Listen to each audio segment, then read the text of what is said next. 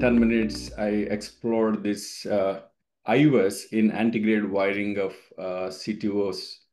But if you look at algorithms, you know, AP-CTO algorithm and global CTO algorithm, in fact, even hybrid algorithm and you know Chinese algorithm, what we can prominently see is proximal cap ambiguity is something which you know so where we use IVUS uh, for cap puncture, and the next thing is when your wire ends up in you know subintimal plane. So IVUS guided antegrade wiring is something which is uh, clearly given a weightage in AP-CTO algorithm, uh, unlike other algorithms. And also when nothing works antegradely, again, IVUS guided wiring is something, you know, which was uh, given an uh, place in algorithm. So this clearly differentiates, you know, these algorithms, uh, basically approach of operators, you know, belief systems and, you know, culture of operators uh, from east to west.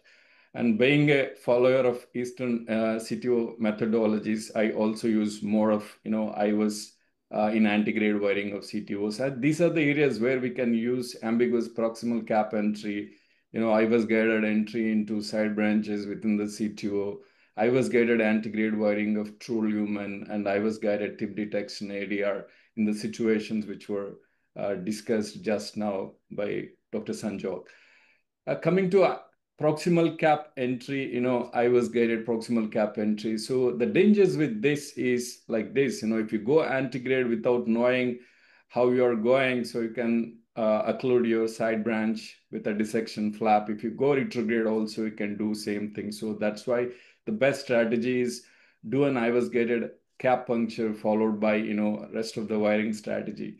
And to do an IVUS guided cap puncture, the prerequisite is uh, you need to have a good side branch, uh, a length at least uh, equivalent to the tip to um, you know transducer distance of uh, and the angulation should be uh, less than 70 degrees. You know, you can see here the angulation is quite uh, good for this LAD cap puncture through this ramus.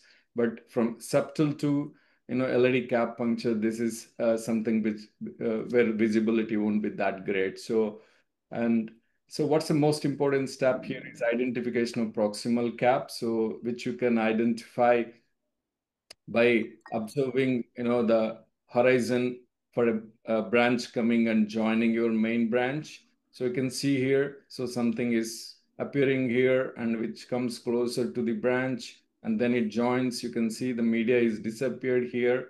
There is no media here. And also you can see the jump in size. So these are the two signs, you know, uh, one is disappearance of media, second is jump in size, which makes you understand the location of proximal cap. And see, if the branch is like 90 degrees, it is very difficult to understand. Also, when the cap is calcified, again, it is very difficult to do, you know, IVUS guided cap punctured.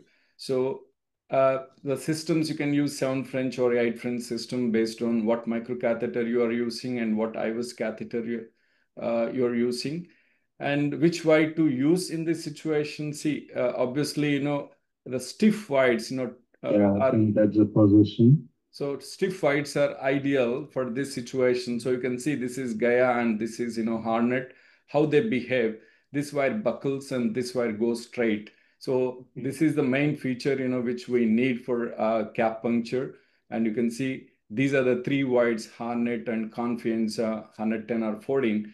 So whose tip bend stiffness is quite high. And that's the reason, you know, they are right wires for uh, cap puncture. And shape of the wire, uh, you can see this is uh, a bend at one millimeter as well as another bend at, you know, four to six millimeters. And the primary bend is basically uh, a secondary bend is something you know which you have to adjust to, the angle of attack you know uh, uh, of the uh, cap. So you can see here this is a Hornet wire. So locate Hornet wire and uh, keep it onto the cap and then push inside. So that's what we are doing. So this is wiring. Once you wire you have to confirm. Again the wire is in the cap. You can see here. So uh, to confirm you have to see every frame to understand the wire is within the media. You can see here, this is a wire and this is uh, within the media here. And again, this is a wire. And you can see this is within the media, and this is the wire and you can see it is the between the two hinge points of the confluence. So that says, you know, your cap puncture is perfect. The moment you understand, you know, your uh, puncture is correct, you advance microcatheter in and remove this wire and uh, de-escalate your wire to Gaia 2 and continue exploring rest of the CTO. So never try to advance uh, this Hornet or conquest further because that might go subintimal because of the uh, curve, curve of the uh, you know uh, wire. So coming to the side branch entries within the CTO that where we use, you can see here an LAD CTO. Uh, clearly, there is a diagonal which is also occluded, you know, proximally. So we wide uh, LAD, and you can see the wide uh, position is quite good, and we balloon dilated it, and still diagonal was not there. So which means it is still occluded. Again, it's same like you know uh, ambiguous cap puncture. So uh, do an IVUS and you can locate, you can see uh, somewhere at uh, one o'clock, you will see, yeah, this is the side branch. So which you can locate, which was not visible in angio. And then we wired, you can see this is a wire. So wired the uh, diagonal and you can confirm. And after wiring, we advanced microcatheter. You can also confirm microcatheter position. See, this is a microcatheter, which is bulkier than, you know, the wire so uh, on imaging. So once you confirmed it, you can see this is microcatheter and this is wire. and then you can finish your procedure. You can see the diagonal is uh, patent now. And we can also use IVUS guided antegrade wiring, especially when your wire uh, is subintimal. So like this case, an ambiguous cap, we did an IVUS guided cap puncture, uh, but subsequently the wire ended up in subintima. You can see here and we tried parallel wire, but uh, it was not successful. And you can also see the lumen got collapsed. So that's what happens when you try, you know, redirecting wire or when you try parallel wire for longer time, you know, your subintimal space expands and the uh, lumen collapses. That's when, you know, you can use uh, IVUS to locate your true lumen and, you know, wire it. So that's what we did it. So you can take IVUS on this wire and then locate and take parallelly, you know, a microcatheter and then wire and uh, uh, track your true lumen. Or otherwise, you can also do an tip detection, uh, tip detection ADR. So either of these two can be done. Uh, otherwise, other option is going retrograde. So, uh, but uh, by doing image guided wiring, we can avoid, you know, retrogrades in such scenarios. So what we did took IVUS, You can see this is IVUS and this is an Hornet wire. And we identified that this is a true lumen. You can see at, uh, you know, uh, 6 to 8 o'clock position. And this is a true lumen. And then with the tip detection, we uh, advanced wire. You can see now the wire is in uh, true lumen. This is hornet wire. And once hornet is inside, you advance microcatheter into the true lumen then de-escalate your wire. That's important. So uh, we de-escalated wire to Fielder, but it didn't progress. So that's why I, I had to take, can see this is a wire in the true lumen.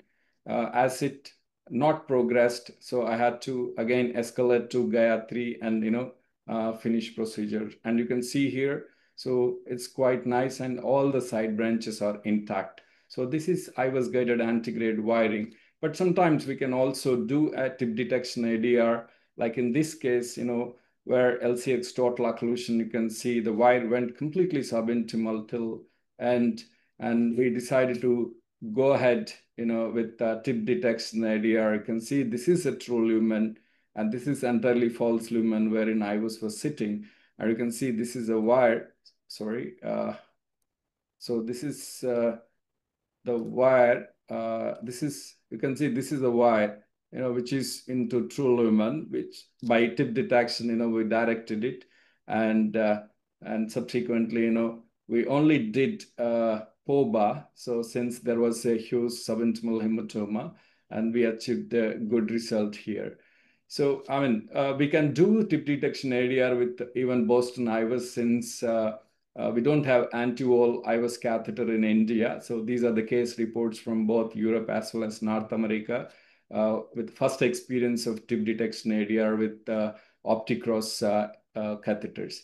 To conclude, IVUS clears the uh, ambiguity of proximal cap and complete, complete IVUS guided proximal cap puncture is the way to go in ambiguous cap. Both identification, wiring of cap, and confirmation of central entry by IVUS, everything has to be done under IVUS. And, and when antegrade wire is in subintima with poor distal vessel visibility, IVUS guided true lumen entry or tip detection ADR are good options with which we can uh, reduce our number of retrogrades as well as you know complications. Thank you.